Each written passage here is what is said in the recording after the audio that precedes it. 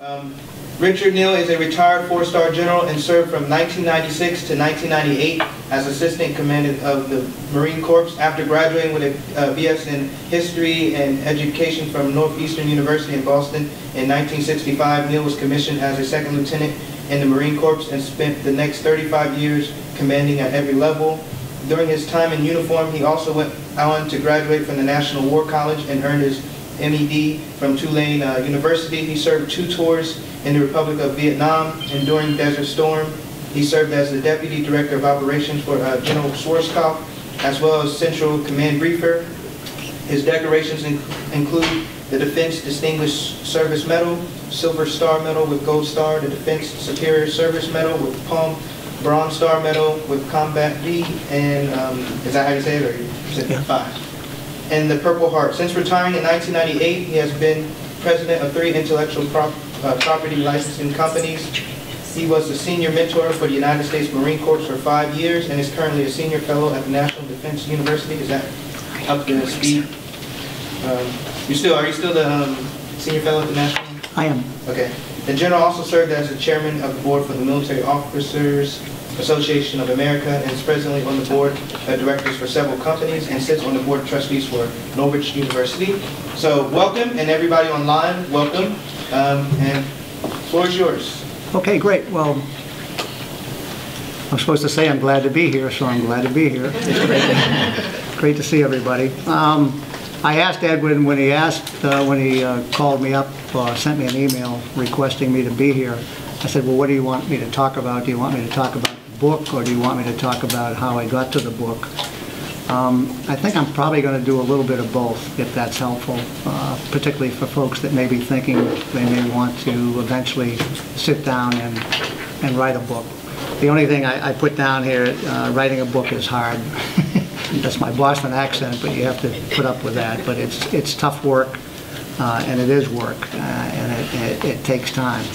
The name of the book, this particular book, is called uh, What Now, Lieutenant? Um, It's a memoir of sorts, and I say sorts because it's a memoir of sorts, whatever that means. But um, it kind of traces um, my growing up in a small town outside of Boston, education, joining the Marine Corps, and it really, the book ends um, with my retirement from the Marine Corps. So that's sort of the, the time frame in which the book was written. Um, After I retired from the Marine Corps, my, my kids kind of urged me to, um, to write something that would capture what had transpired over my 40 years or so. And um, they actually, it was funny, it was coincidental, I retired in 1998, and then this Christmas of 2000, two of my three children uh, gave me as a present the same book. And the name of the book was Legacy, a Step-by-Step Guide to Writing a Personal History, uh, which is a pretty good little book. Um, But that sort of showed me that they really were sincere in, in wanting me to, um, to sit down and kind of capture um, those events and moments in my life that were probably worth sharing with someone. I found, that I was in a Christmas, uh, not a Christmas card, but in a, in a gift store buying uh, some cards for my wife, uh, uh, greeting cards, and and in one, in one, um, one of the cards caught my eye, and I opened it up, and there, and there was a quote in there, and it says, "We do not remember days, we remember moments." And it was by a guy named Cesare Pavese, uh, an Italian poet and writer, who also was a communist, but I won't hold that against him. He's since expired. But anyways, I thought that was great, moments. I thought the moments might be a, a great way of uh, kind of um, capturing my life uh, across the spectrum of growing up in a small town all the way to uh, finishing up in the Marine Corps as the, the number two guy in the Marine Corps. So that's kind of what I did. I, um, I sat down and, and created a laundry list in chronological uh, order of all of those events, i.e. moments, that I thought were worth pursuing and putting the book together. So that's kind of, that, that really was the impetus. It was an outline, for lack of a better term, but it really was just a list of events.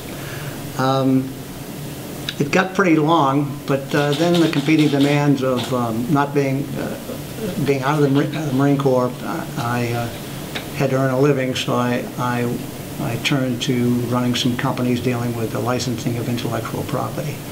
That was all due to a cold call. It had nothing to do with the military, and that's kind of what I liked. I had made a decision early on that once I retired, I wasn't going to go back into the defense-related industry uh, because I hated those people coming in my office trying to sell widgets and things of that nature. It just didn't didn't satisfy me, and I had great job satisfaction during the Marine Corps, so I wanted to kind of do something different.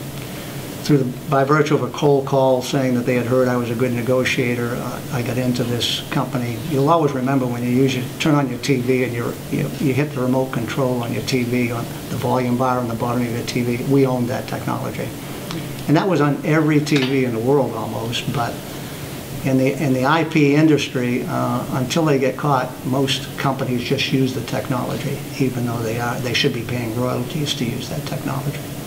And uh, so we had that technology. It was actually old. It was getting to where the patent were ready to expire. And in, less than uh, two years, we made a substantial amount of money. Um, or the company did. I didn't make much money. In fact, my wife said, the great negotiator, I was getting a, a retainer, I didn't do too well. But after that, because of the success of that company, we formed, we were asked by the three companies that co-developed MP3 technology, if you're familiar with that. And uh, that's, again, ubiquitous all over the world and just about every, uh, from your cell phone to whatever. Uh, and they asked us to, they outsourced the licensing function. So basically, we, we went after the Sonys of the world, the Microsoft, the Apples, the Dells, everybody, uh, and told them they were infringing the patents and that they had to take a license. And we ended up with about 1,500 licensees and um, a very hugely successful uh, program in the billions, not in the millions. Again, the great negotiator, not a millionaire, believe me. So that being a, a, senior fellow at the National Defense University, being the senior mentor for the Marine Corps for five years, and being on a couple boards sort of uh, kept me busy. So I really put away that list for almost um, 15, 16 years. Uh, my wife's health uh, uh kind of caused me to forget about full-time employment, so I stepped down and then, you know, trying to from an active type A lifestyle to uh, just sitting around the house. Uh, I, dragged, I, I, I, recovered my list and started to work on it again. And um, I knew that I couldn't type for this book, this is about 75 to 80,000 words. Uh, I knew if I were to type 60, uh, 70 or 85,000 words, I would never get done. It would never get done. So what I did was I found a, a writer, a woman, uh, lived on the West Coast. I don't know how I found her, I think through the internet. And I contacted her and uh, I said, you know, I need someone to go down this list of events and moments and to capture the narrative by virtue of telephone calls. And so for about four, well, maybe five or six months, uh, she would call me and uh, she would be on item number six, and we would discuss item number six, and I could hear her typing away like crazy. And then she would wordsmith it, and then she would send it back to me in Word format, and then I would, you know, play with it, delete it. Uh, there was a lot of redundancy, as you can imagine, in a telephone conversation. So over six months, we basically developed almost an 80,000 word manuscript. Um, she was happy with it, I wasn't. I thought it was, it read like a diary. She did what I told her to do. In other words, she captured what my narrative was, but um, it was, I don't know, it just, it just didn't, it wasn't sexy, I guess, for lack of a better term. It wasn't something that you would pick up and enjoy reading. So um, I put it on the shelf again and, um, you know, went about my way. And then, um, um again, during one of those in the winter months, not doing much, I, I pulled out the manuscript and started to really go through it chapter and verse, editing it, um, shortening it here, taking out more of the redundancies that were still in there. And, and it came out, you know, I kind of liked what I had. I didn't think it was publishable, but it was, it was interesting and it kind of got, you know, it was me. I could feel like it was me telling the story. So somehow I found this woman. I think I went to a writing class uh, at the community center, and I might have got her name through, you know, when they send out you're always getting internet, uh, you know, advertisements of stuff. I think I caught her name, and so I took a risk and, and contacted her, and I said, you know, I've got a manuscript here. My real concern is it, it's sort of, and I use the word sterile. I don't think it really, it's not marketable. I wasn't really looking to market it as much as I wanted to get the word, the, the message out that I thought the book uh, contained. So I sent it to her, and boy, she came, she came back and she creamed me. You know, I mean, five-page email. I have it here. I'm going to read you a couple of things out of it. But five-page email, and she really, Whoa, five pages. yeah, five pages. When, when you write five pages, you know, Well, it- well, good, I mean, That's good crazy. proofread. yeah, I mean, That's she, Good proofread. she didn't proofread, she just, she just captured it. I mean, let me read you a couple of stuff. She said, let me give a little background on why people read today. They read because they hunger for good stories. It's that simple. And the best, most interesting, most exciting stories play on our emotions and bring a cast of characters to life. Clearly, your story hints at emotions involved in living the life you have led. Indecision, fear, love, brotherhood. We might imagine what you and others felt, but the scenes necessary to share these emotions with a reader aren't in these pages. Bang, right in the forehead. Nonfiction writers know that journalistic writing, just the facts, details, can only reveal so much about a person's story. So they use fiction techniques and bring events to life for the readers. This means using dialogue and showing character, real people in the case of a memoir, interacting. This also means letting the reader in on the emotional reactions of the central players of the story. You do this in a few places in the book, but largely you stick with telling your story by listing events and dates. My list, my complaint about my manuscript was in the beginning. You may have heard the writer's rule, show, don't tell. Showing means fully developing scenes to enable, enable the reader to feel they are there, in the moment, experiencing what is happening. It's a very powerful tool. Showing creates realism and helps readers fully understand the life and experiences you are trying to portray. You know, it's really, uh, it- these were so helpful. I mean, you know, it was kind of like uh, an epiphany. You know, I said, oh my God, you know, this, this lady has nailed it, yeah. Would you mind reading that vignette again? That sentence again? The, sh- the show, um, Show don't, okay, where it's show don't tell. you may have heard that writer's rule, show, uh, you might have heard the writer's rule, show, don't tell. Showing means fully developing scenes to enable the reader to feel they are there, in the moment, experience what is happening. It's a very powerful tool. Showing creates realism and helps readers fully understand the life and the experiences you're trying to portray. Makes sense, doesn't it? It's really good. She says, if an Thank you. event is important, take the time to create a fully developed scene. This means show us what you remember or can reinvent of the dialogue between people.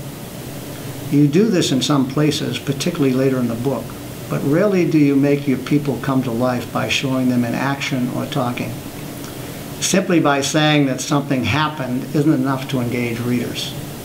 We need to feel we are witness to the event through your ability to recreate the scene on paper. When you see characters weep, cry out in pain, proclaim their love, stifle an angry urge, then we believe they are real people and we sympathize with them. It also makes the reader more aware of the conflict at work in real life. Conflict is what makes a story. A life without any evidence of conflict doesn't feel natural. And this is, we, her and I disagreed a little bit about later on during the writing process. I am absolutely convinced that you have faced many difficult times during your life, but we're seeing very little of this here in this book. A series of career steps toward and mentions upward and mentioned challenges without developing them in a visual and emotional way for the reader doesn't, doesn't bring the true you home to the reader. Seeing what works for other writers and one of the best tou- is one of the best tools we author, authors have. Notice the balance of dialogue, action, and narrative. Some of your best scenes reflect a strong balance of these skills. For instance, the Battle of Corner is very moving. It's scary and dramatic and feels quite real, but it's there and then gone quite quickly.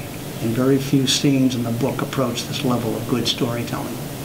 When you decide to include an event in your book, ask yourself how you can make it visual and real to the reader.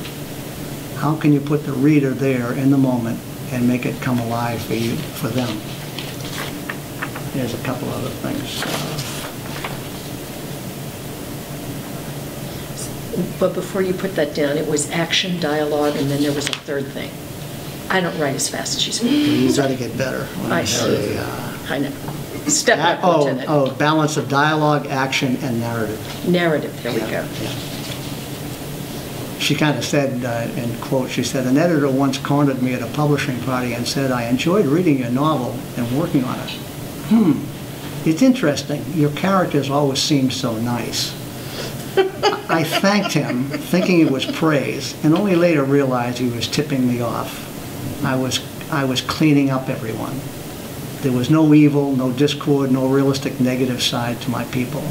And the writing was, when it came down to it, technically fine, but also boring. Sterile. It's a great email. I She said, "I'd love to get more into insight," and this is the one that really got me going. "I'd lo- I'd love to get more insight into other people in this book.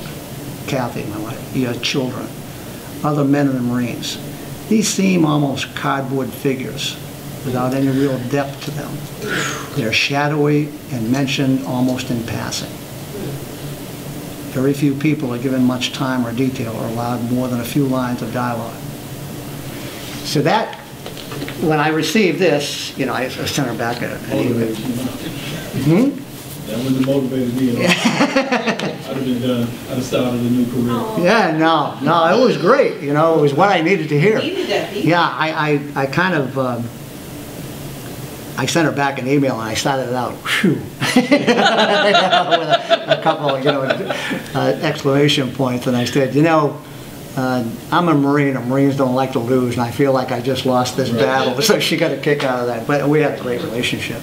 But that was, a that was the perfect um, ointment, I guess, to, to cover over, uh, you know, a poor attempt at being a a writer. And, um, and, and and that was what, it it was wonderful that she did that and, and took the time to do it.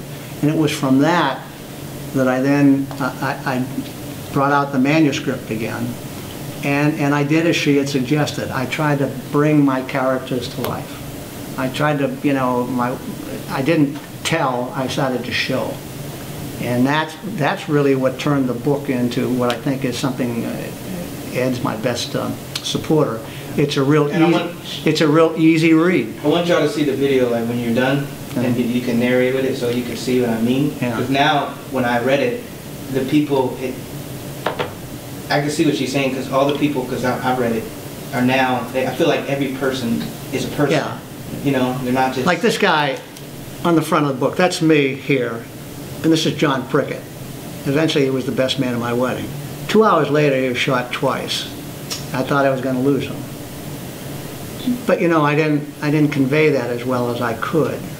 But, you know, along with John being shot, when we went in, we walked in with seven officers, only three of us walked out. Uh, And so you can just kind of, you, you- you should be able to tell that story. And that's where you got to show and not just tell it. It's easy to tell it. It's much, it's much easier because it's clean. You just kind of tell the story of what happened hour by hour, minute by minute. But when you start getting into the personal part, when you talk about John Prickett and bleeding, and I'm trying to stop the bleeding, and the guy holding the compress gets shot, those things, you know, they bring the story alive and make it almost compelling.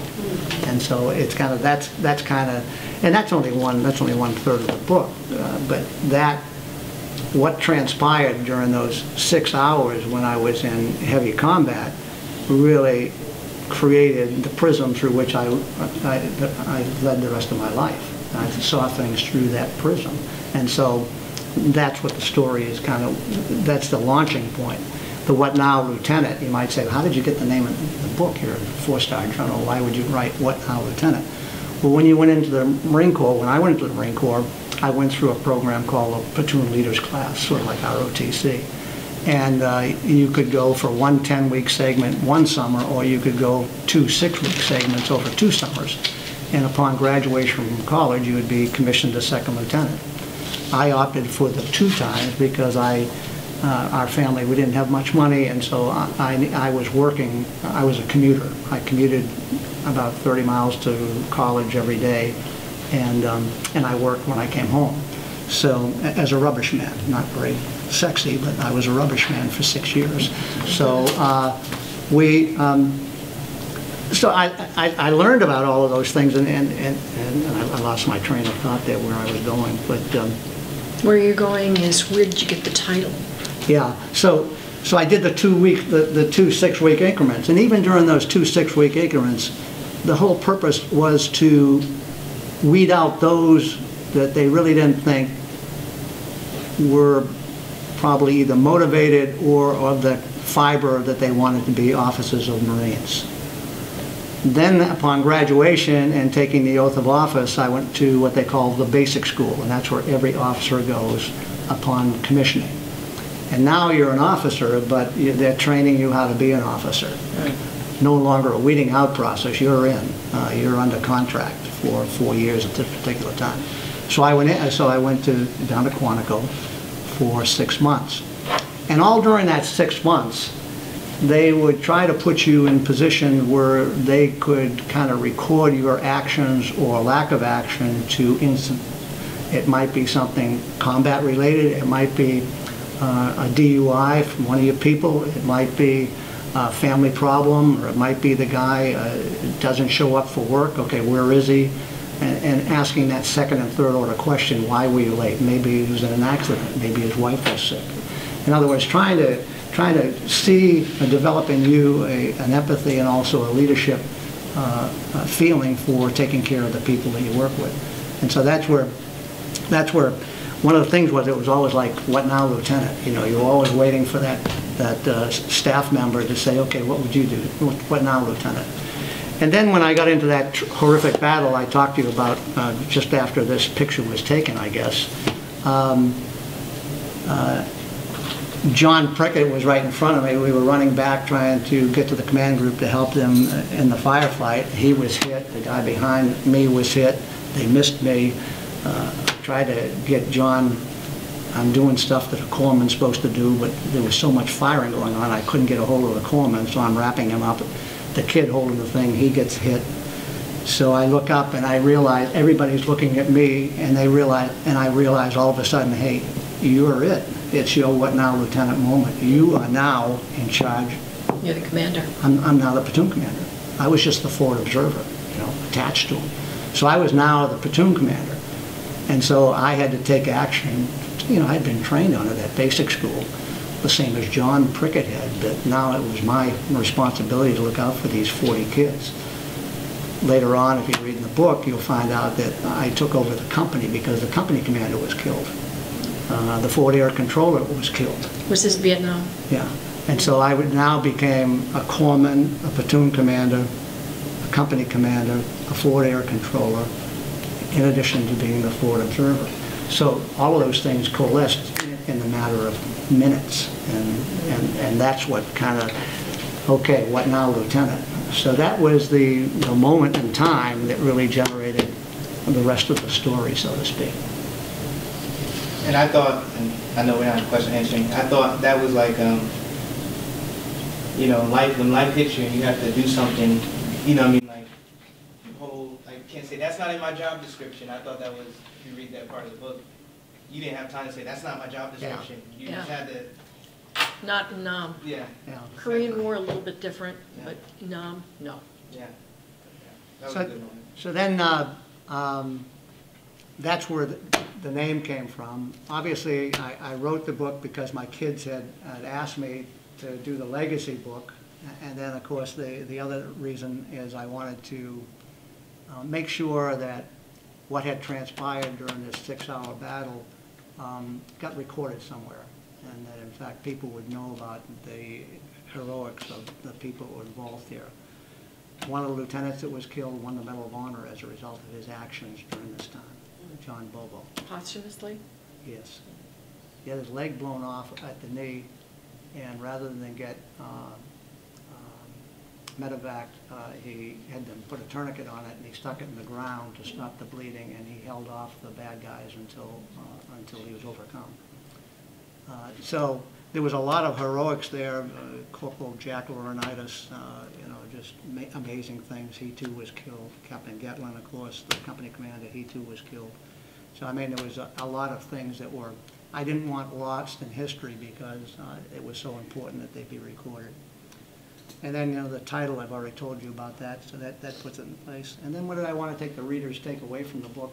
Um, I think I wanted them to, to um, obviously take away whatever they might from the book, but at the same time, they might understand uh, what I call uh, eyeball level leadership and its impact with people. Um, The importance of taking care of your people and looking out for their welfare, not just as a nice pithy phrase, but uh, the reality of that as part of a leadership dictum. And then, you know, uh, as I used to say, you got to grow where you're planted. A lot of these young guys and gals, they just kind of, they're always looking for what's next, where in fact they should perform wherever they are at that particular time and grow where they're planted, and then they'll be taken care of if in fact their performance uh, merits it. And then uh, I, once I had taken my five-pager and um, put all this stuff in there and started to make my characters real and, and, and full of life, um, I, I I got a hold of this publisher here. Uh, He did some small editing. I'm a short chapter reader. I like to have books that have short chapters. I hate to get caught in the middle of a 30-page chapter, and so I decided on the, on the chapters. And then, over the years, I had collected a lot of um, uh, quotes that, um, uh, that I would use in speeches, because I've given a lot of speeches. And so um, I decided that I, each chapter, I would uh, start off with a quote, from Bear Bryant to uh, Bobby Dylan to whatever. I mean, I run the whole gamut there, uh, uh, as you'll see if you, if you read the book. And so each one of the quotes that begin a chapter, I tried to make sure they related to the narrative that was in the chapter. And I think I've succeeded just about at the 99.9% level. So short chapters, the quotes, and um, that was about it. We, the publisher did some minor editing, he did some wordsmithing, it was really good, corrected some of my punctuation, and then we shared some uh, video, uh, some pictures that I had that I wanted to put in the book, throughout the book, and, uh, and then it was done. Um, I read it, uh, you know, I got the advanced reader copy, and I sent it out to about five or six of my folks. I actually sent it to the lady that sent me the five-page email, and uh, she liked it. The only thing she, she and I disagreed with, she said, I don't, you never get into any conflict. And I said, oh, wait a minute now, you haven't read my book the way, I, you know, she's not military. So I said, you got to realize that when you do things in the military that are contrary to what the more senior per- person is, that's a natural conflict and it's a risk situation. In other words, you're putting yourself at risk. When uh, you'll read in the book, uh, a four-star once said to me when I was giving a briefing, he said, "Stop. That's the problem with you, Neal. You're an operator. You're naive when it comes to how it's supposed to work." And of course, my Irish temper took over, and I just looked him in the eye. I said, "I might be, I might, might be naive, sir, but I don't think I'm wrong." Well, that that could be a showstopper for future growth in, in any service.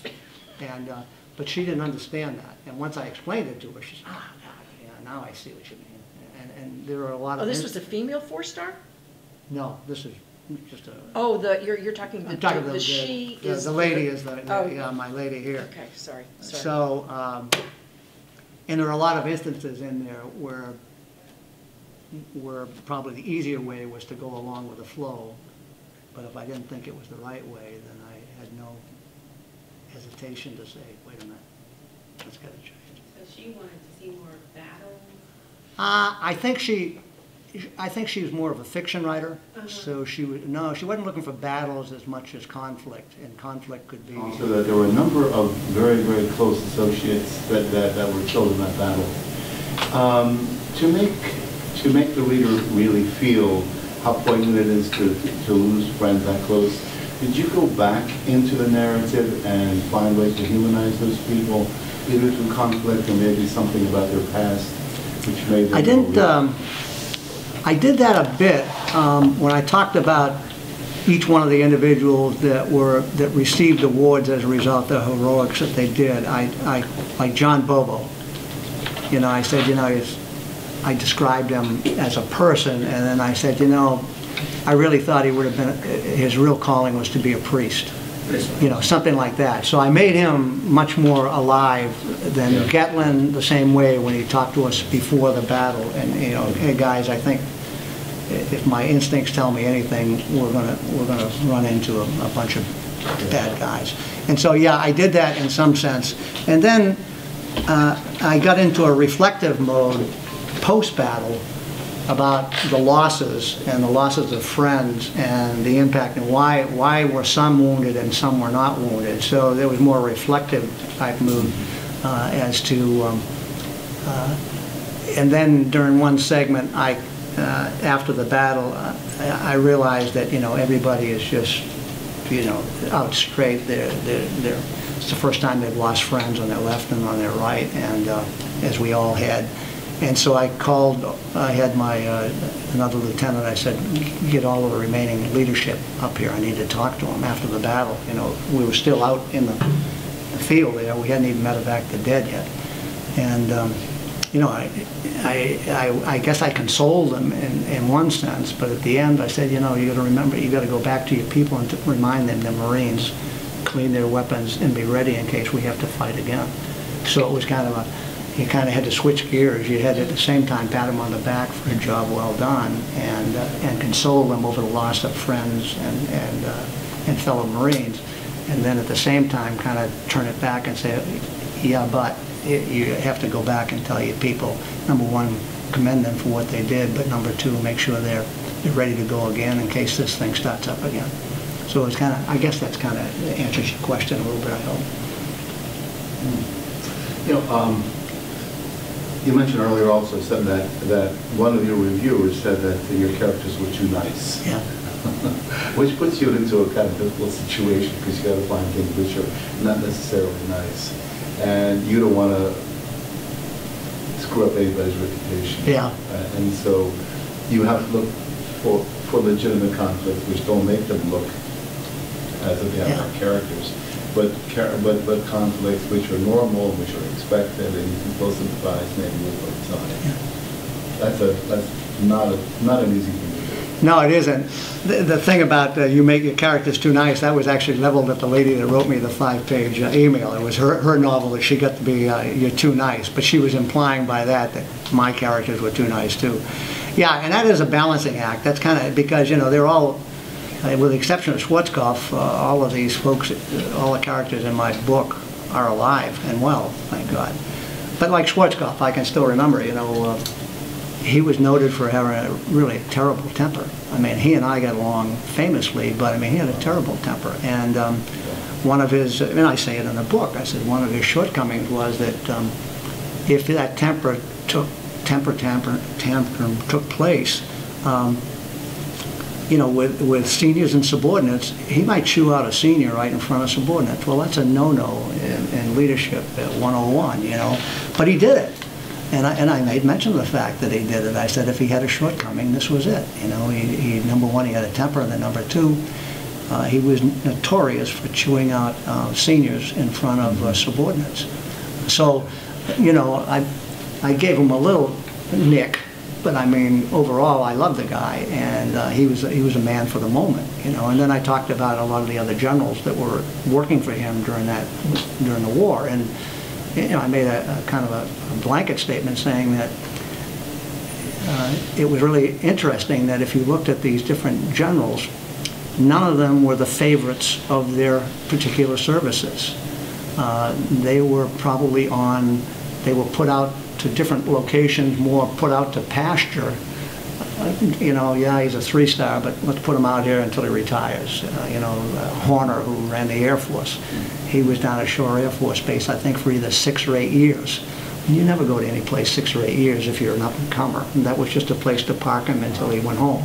Schwarzkopf, he was at uh, the Pentagon. he, uh, um, he was like a bull in a china closet in the Pentagon. And so they said, well, let's send him down to the place, let's get him four stars because he rates four stars, brilliant guy and, you know, wonderful career. Let him go down to CENTCOM, nothing ever happens down there. So down he goes. And then uh, General Boomer, who was in the Marine Corps, uh, three-star, uh, was not a favorite of General Gray, the commandant. And so they sent him out to California, where, uh, no, actually, yeah, out to California. And, um, you know, that, nothing ever happens out there, all the action's on the East Coast.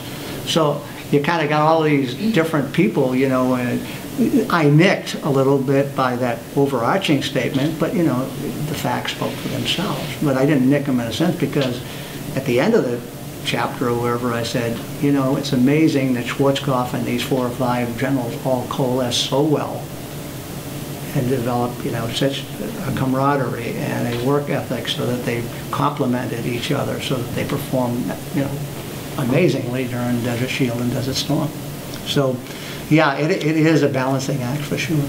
You had a question way back there. Yeah, I did. Um, I got two now. Oh, man.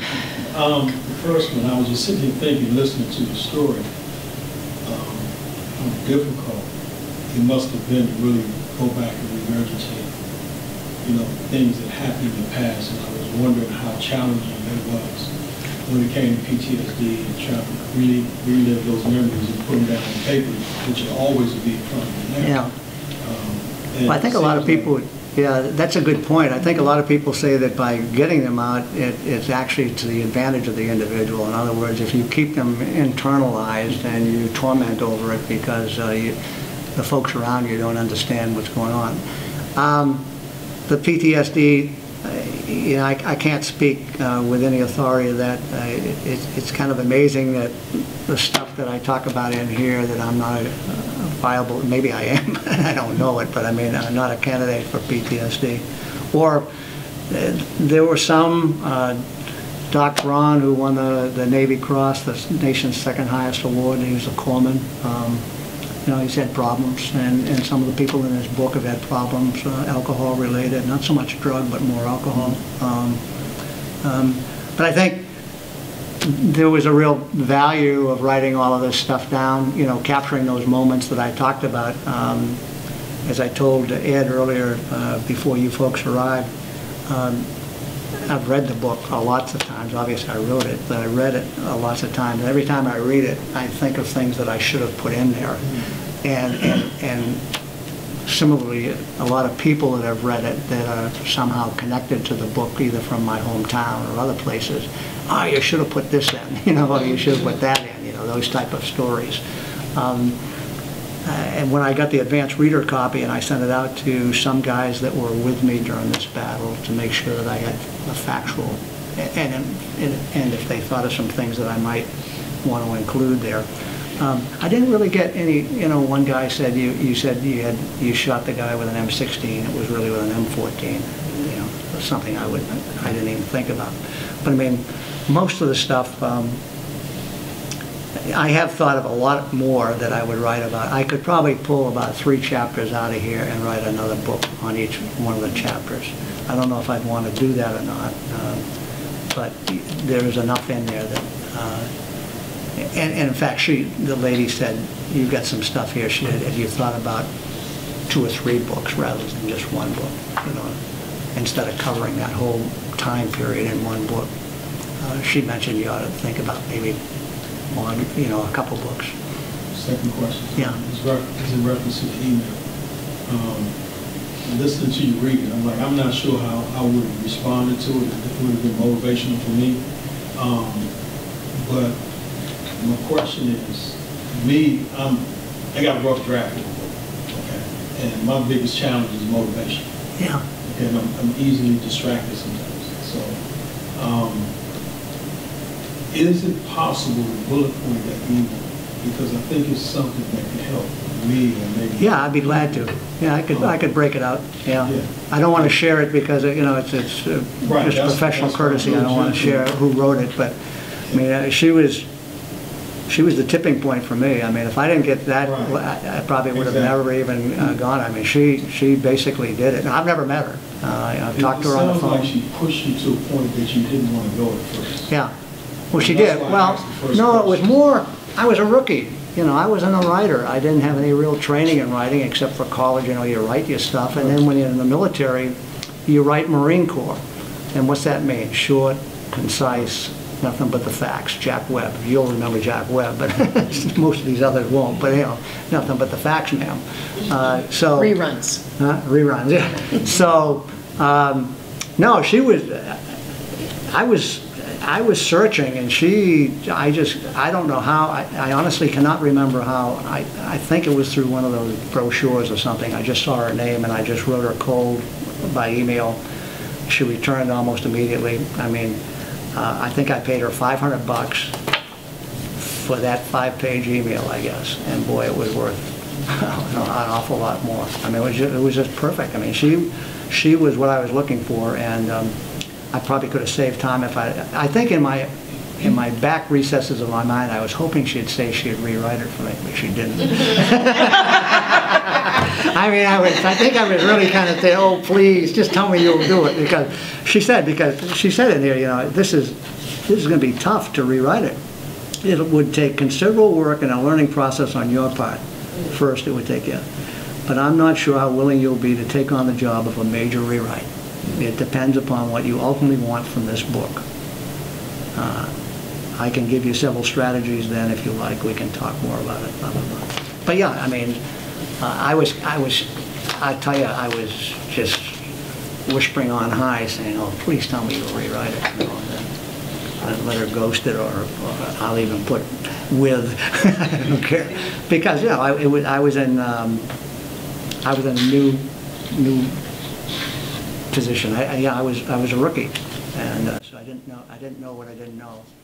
And she helped me find out what I didn't know, and then I was able, I mean, I had all the, you know, I had all the information. The information was in here, it was getting it out, and not realizing that I wasn't getting it out in a, in a, in a fashion. It, it, when I read, except for the, the first manuscript, which I said looked like a diary, well, I really carved that up a lot, and I was kind of comfortable with it after that carving job.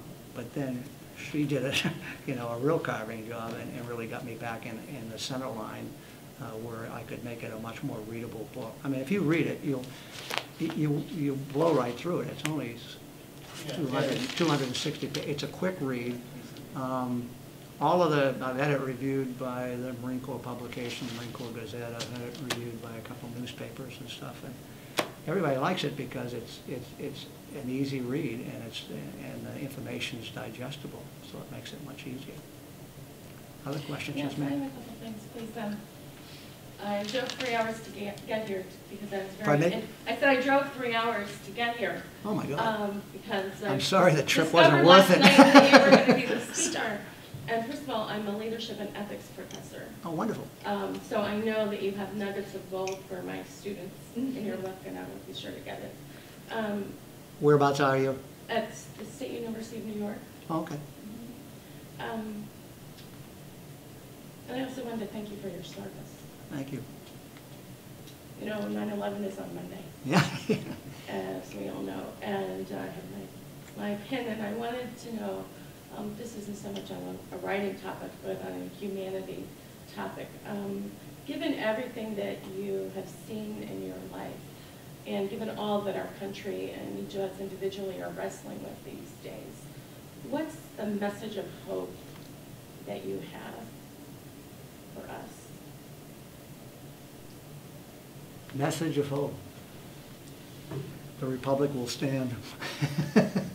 You know, we've gone through these doldrums before. This one's maybe more pronounced uh, now with, you can't even sneeze without someone saying Gesundheit across the hall. So uh, uh, I'm, I'm, I'm cautiously optimistic. Uh, I'm also pessimistic about some of the things that are happening around the world. I mean, the world front page of the Washington Post this morning, you've got hurricanes, you've got earthquakes, and you got politics. I mean, what a great combination. I mean, and, uh, yeah, it's worrisome. Um, but, you know, good people will do good things. I think, I think we'll be okay.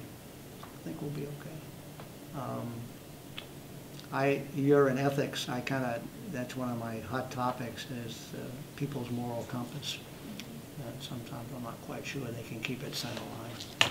that- that- That's worrisome, but I think uh, we'll we'll get through it. you know.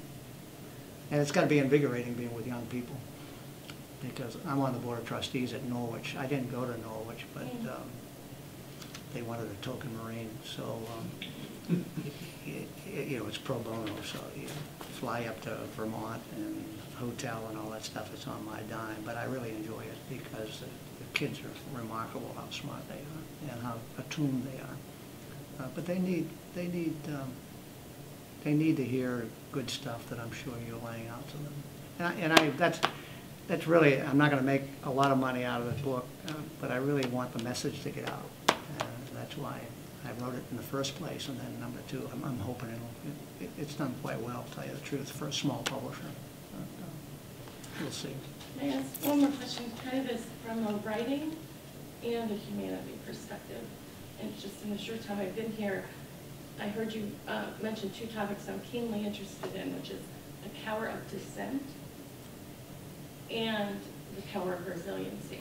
Yeah, Because obviously, as a writer, when you got that, that was a message of dissent in Yeah. some ways, right? yeah, And you didn't just give up the project, you were resilient in the face of the dissent Yeah. and rose to the occasion. and it fired me up even more, yeah. And resiliency is a big issue nowadays, as you well know, and a lot of people are really working at that full-time. I'm, I just chaired a panel um, looking at recruit abuse in the Marine Corps down at Parris Island. They've had a couple instances down there.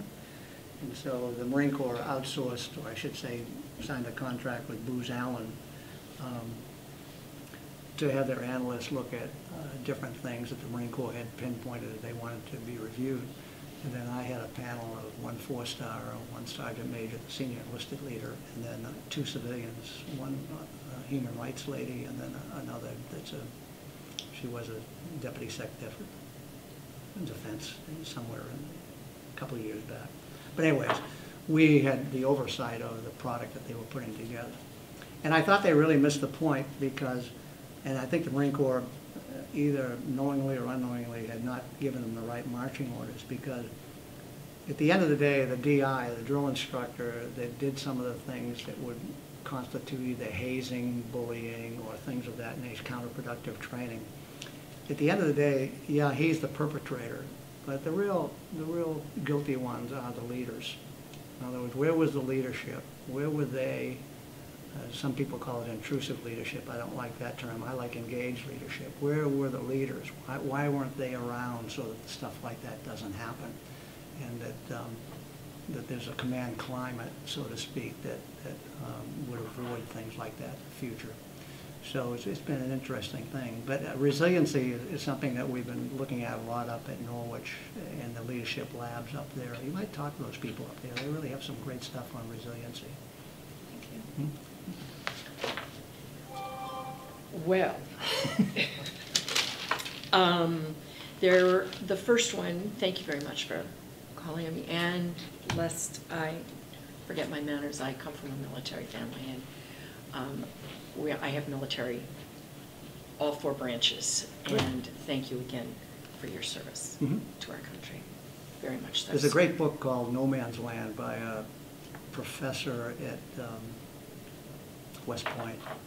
It's really kind of interesting because she uses that, she addresses the term of, um, thank you for your service. What do people mean when they say that to you? Kind of an interesting, it, it's a good book, it's a little book. um, She's really a bright lady, but she's in, she teaches leadership and other stuff at, uh, at West Point. And uh, she would, you know, people get embarrassed, uh, active duty guys get embarrassed when they say thank you. Well, they thanking me? It's my profession and stuff like that, so it's kind of an interesting take on that, that comment worth looking at. So, well, thank you for taking the compliment. And you had mentioned, um, you initially st- uh, uh, stated the, the book, Legacy Step by, a Step-by-Step Guide, and then there. To was. personal history. Oh, okay, to uh, personal history. Okay. Personal history, and then there was a second book. Legacy, a step-by-step guide to writing a personal history. Okay, and then there was another book by an Italian communist. Oh. What was the, what was the No, that's this guy, Cesare Pavese.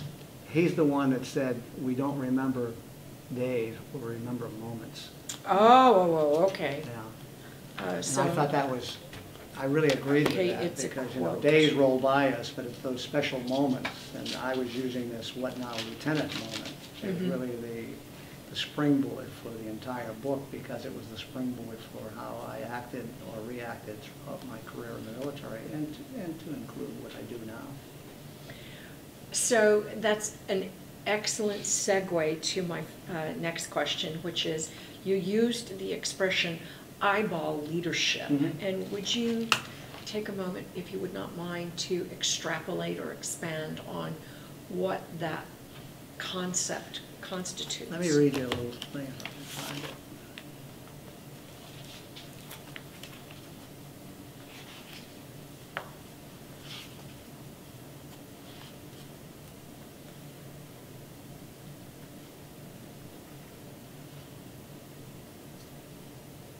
In reflecting on the battle, I quickly realized in the span of 30 minutes, 30 to 45 minutes, I had gone from being a forward observer to being a corpsman treating John, to assuming command of his platoon and maneuvering it, to being a radio operator talking to battalion, to taking over command of the company, while at the same time being the forward air controller. During those frantic and challenging minutes, 15 Marines were killed, including two captains, one lieutenant, four corporals, two lance corporals. I started to think through what needed to be done at the moment, except the, the fact that I had to get the Marines moving. It was now my responsibility to get everyone reorganized and functioning. In order to do that, I had to get them more focused on the present than on their fear, confusion, and grief from what had transpired. I understood the importance of walking around, being present in front of the men, and making sure the troops understood what had taken place over the past 24 hours. I told Dan to gather the platoon sergeants and senior NCOs so I could talk to them. Once assembled, standing or kneeling in front of me were men who had seen death and destruction unimaginable in its extreme. They were dirty, some covered with blood, their own or that of their comrades, in the detritus of battle. Their hollow eyes were red-rimmed and sunken, and were their cheeks that were etched with only what I could assume were the tracks of tears. This motley group, the surviving leadership of the Battle of Hill 70, stood before me, and I knew I had to be careful with how I spoke to them. They had just lost their company commander, two of their platoon commanders, and many close friends. I don't have to tell you, you, I don't have to tell you that you and your Marines did all and more during this battle. You who were on the Hill, Hill 70, and those who fought their way to assist and rescue the command group. My eyes stung, and I rubbed, rubbed them before continuing. We lost a lot of good Marines last night, but the enemy paid a heavy price. I paused again. Your Marines are tired and likely scared. For some of them, this had been their first taste of combat, of losing fellow Marines. I stopped because I felt it too. I looked back at them. We all lost comrades. Never will it be more important than now, than now that you help your Marines get through this. I need you to comfort while at the same time reminding them they are Marines. You must be ready to fight again if necessary. I let them know that as difficult as it would be to stay focused and to continue the mission, I depended on them to make it happen. I'm so proud of you and the Marines you and I are privileged to lead. Make sure you get my message down there. Some of the men that had net now that had knelt now stood as I finished. Battalion says transportation will be staged on the road nearby to move us back to camp. Before you move out, make sure you have your Marines recheck the area for any equipment and ordnance. I don't want to leave anything behind. We need to get everyone thinking, acting, and performing as Marines, which means cleaning their weapons and doing the things they've been trained to do. I looked at them arranged in front of me. Any questions? There were not any, but the men, some of whom had seemed shaky minutes before, now seemed steadier. I nodded to him. Let's get on to it. On that day, I became a great believer in eyeball level leadership, facing people, looking in the eye, and listening to what they had to say. I had to keep in mind that I was talking to human beings, tough young men who had just gone through a uh, life-changing experience, one that, the, one that would be with them for the rest of their lives. Eyeball level leadership was an imperative that, from that moment on, became the dictum by which I lived during my entire career as a Marine officer. And that, pa- those pages are what? I'm not gonna give them to you unless you pay the book. Well, I'm gonna buy, I'm gonna buy the book, but I just wanna know which page 60, 61. And how has that, how did that vignette shape the course of your leadership strategically in the different businesses that you were in? Did that make Um, sense? Concern for the people that work for you. I think, um, and that's what I, I said somewhere in the book, I said, um, you don't have to be a general or a major or a colonel a- or a, a, uh, a university professor or a president of a company. Uh, Leadership uh, comes in all sizes and shapes, but it's really, it gets down to concern and compassion for the people that work for you, being engaged when you're dealing with them on a routine basis. Uh, Don't be afraid to ask them, what do you think? You know, that's I, you know, a- a couple words, what do you think? I mean, and, and you would be amazed. I was amazed throughout my career in the Marine Corps and also in the business world uh, subsequent to the Marine Corps. You ask people what do they think, and, and they're, they're, they see things from a different level. They have a different view, and I'll say, of the battlefield. And uh, out of their mouths comes great wisdom if you're not afraid to listen to it. And um, so, yeah, I never had a, uh, I think that's really what I mean by eyeball level leadership, and also um, it being the prism through which I, I saw the rest of my life. Want to, um, sorry, Thank you very much. wrap up, show the video that your publisher did? Good question. Go ahead.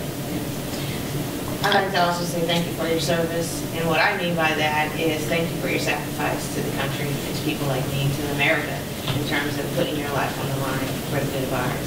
Thank you. That's what I mean by thank you for your service.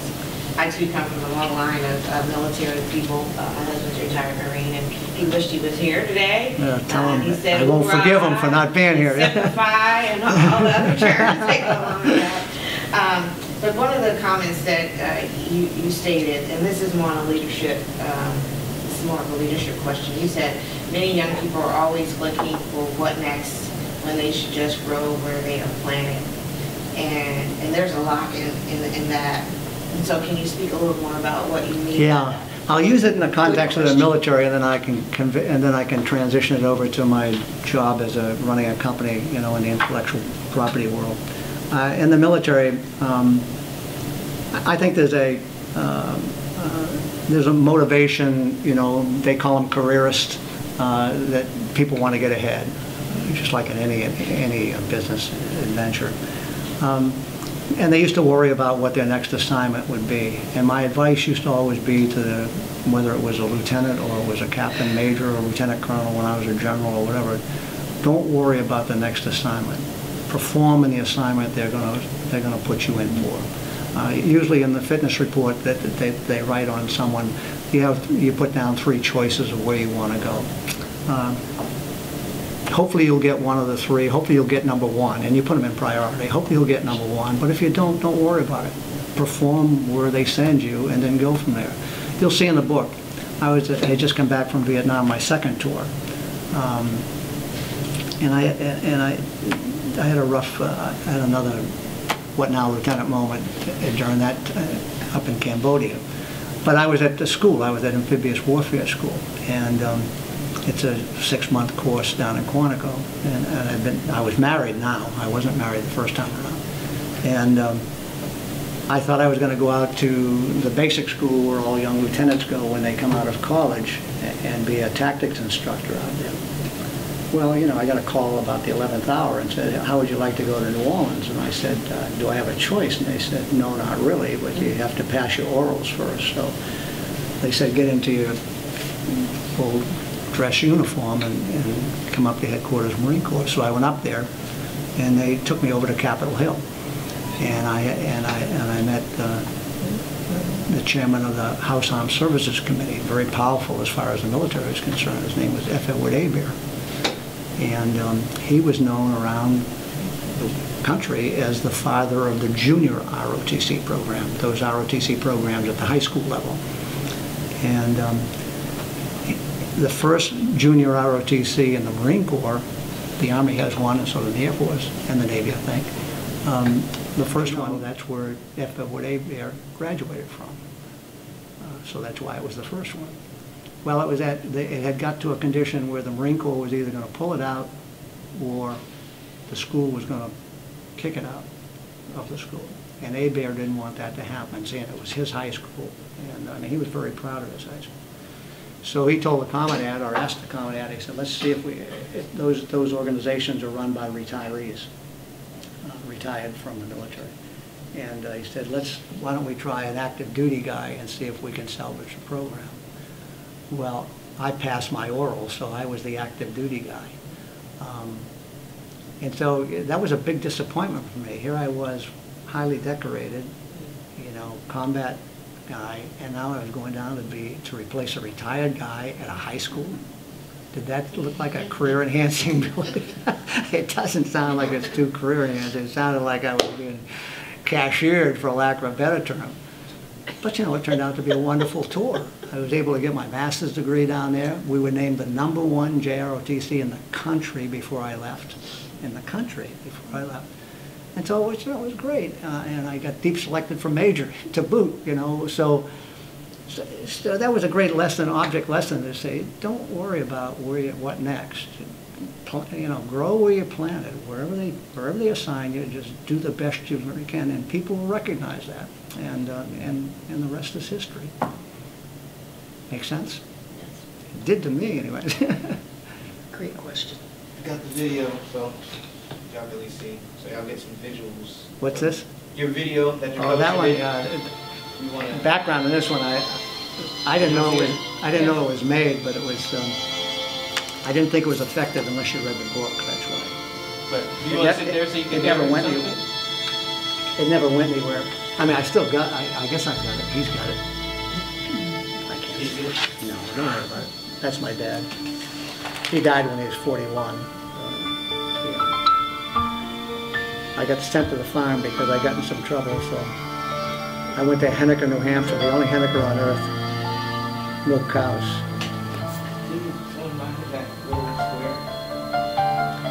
And here we are in Vietnam.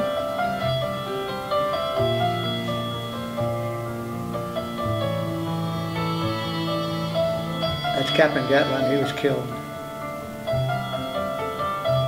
That's John Bobo here, John Prickett there. That's John Prickett there.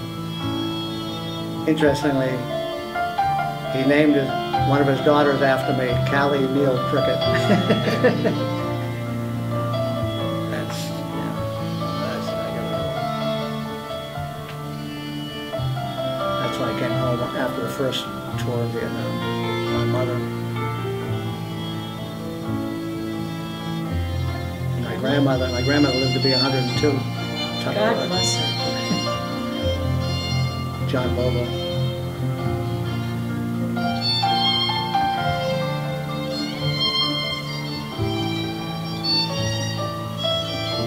Guess who? That's me.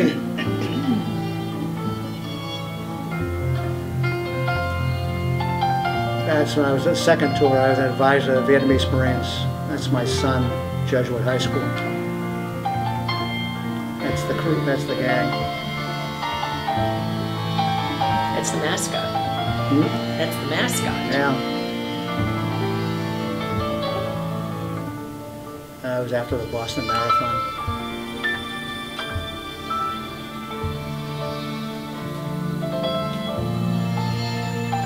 To boost morale, I started a thing called uh, Burn the General Run. And if you burn the general, beat him, you got a certificate saying I burned the general. And if you didn't, you got a certificate that said I was burned by the general. Very clever. I just love a man in uniform. This was when I was doing the briefings. Uh, If you hadn't read the book, I, I did all of, if Schwarzkopf didn't give the briefings, I was the guy you saw on TV every night.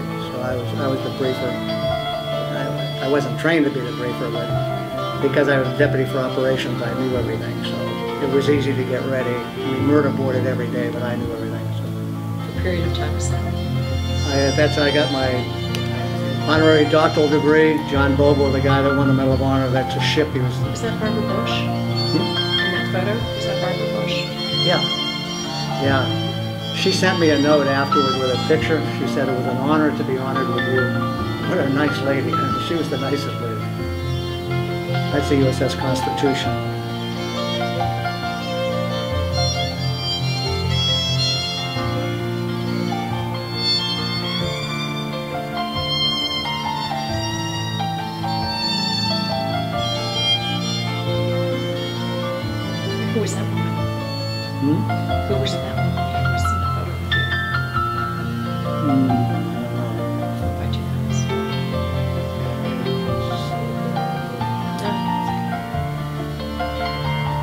This is the corpsman I talked about.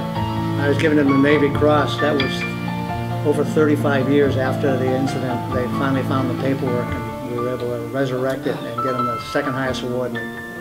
Yeah.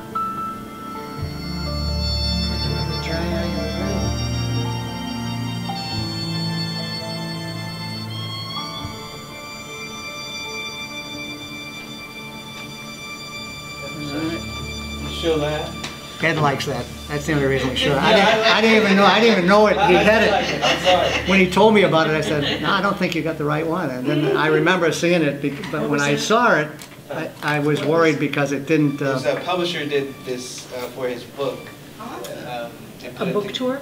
It was for, um, to promote, I don't know what. he he wanted to use it as a promotion. I said, but, you know, I, I really loved it. But I said, you know, the problem is unless you read the book, it, there's no connection, there, it- there's no context, you know. In other words, you just see a bunch of pictures. So if you read the book and then you see it, then it really has, it, it, it really is nice. Yeah, yeah, and I just wanted people to see like, because you're very humble, like all the things that you've done. I mean, if you go, if you go on C-SPAN, you can watch your old. I don't know if you ever watch your old uh, briefings. Oh, yeah. And look at yourself. Have you ever watched your old? What you want to do is, there's, there was there was really, um, Saturday Night Live, uh, during the war, they did a skit on, uh, on me giving the briefings. And the reason they, the reason they did it is, is because, you know, the the stupid question time, well, General, tell us uh, where the new, where the new maneuver is, or what are you going to do, or where are you going to fight next, you know, and it was such a takeoff on it. I, I didn't see it because obviously I was in Riyadh, Saudi Arabia, but uh, the press guys had seen it, and they said, ah, General, you got to see this, it's so funny, you know, but, uh, but, uh, And you don't have a copy of it? I don't know if I have a copy of that. I just remember them telling me, and uh, I saw it. We'll have to find it. I mean. Yeah, I'm sure you can find it. It's an old Sa- Sa- Saturday Night Live. Well, you know, when you are im- im- memorialized, that was the word, if you're then- memorialized by Saturday Night Live, you've arrived. You've arrived, is that right? You Oh, have arrived. well, I guess- Bravo. I guess I've arrived, yeah. Bravo. I think there was another part in the book that I thought was interesting. I'm not trying to tell it all. But, uh, that was the mobster Whitey bought him a beer. Oh Um, Oh, yeah, that's a funny story. I, when I came back from um, Desert Storm, of course, because I'd been on TV, my wife told me, she said, you, you, you don't realize that you're on every TV, every radio, everything, because it was kind of the first time they had used um, a military guy giving the briefings, and it was either Schwarzkopf or me. Uh, we, we, uh, Chairman Powell was really getting mad because we, we had a couple guys do it, and they just didn't, they didn't come across uh, as well as uh, they wanted, so they wanted to try me out, and Schwarzkopf said, no, he's too busy. He's, he runs the war room at night, and, you know, he seems like he's here all the time, so. So then the chief of staff said, well, I'm going to do some, why don't, he- don't General Neal and I uh, do two? And uh, he, he said, okay, we'll try that. And then, then I did one, and it kind of went well, and so Schwarzkopf said after that, then I want General Neal to do it from now on. So then I did it for the next month, or however long the war. So I did it unless Schwarzkopf came on. Uh, And it was, it was a fascinating time, because you, you just, at at that time, we actually gave C-SPAN to the world. That's when, uh, not C-SPAN, but CNN. Before that, it was just that, that outfit, you know, no one really thought much about it. But the war really uh, gave CNN uh, new legs, and that's, we all got used to watching real live uh, guys briefing and from Riyadh and Saudi Arabia and Kuwait and on and so on. So it was kind of an interesting time. In fact, that, you know, a lot of publishers wanted me to write a book at that time, you know, sort of the inside story of being in the war room all the time with Schwarzkopf and, and all those things, but I was on active duty, had no, you know, I didn't know how long I'd be staying in, but I had no inclination at the time. But, What do you got there? No, that's your briefing. I don't know if you ever watched, There you was ever no watched sign of Iraqi opposition. You ever watched Oh, yeah, Worked no. coordination with the I used to have to do a five five minute read that, of something that the- they had put together, and then once I did that, then I just took questions. But when you take the questions, you never Including know brigadier what the hell they're general gonna and ask 89 other officers. EPW processing was center was was like, quickly wow, established on the island, and they were ferried by helicopter to USS Ogden for further transport into Saudi Arabia. Years. On ground operations, our forces remain arrayed throughout the Ah, yeah, of enough of that operations. Yeah, well, thank you for coming. Does anyone have any last questions before we wrap it up? It's almost two o'clock. Anybody? Thank you so much. Great, well, thanks for coming. Thank you so much. Good.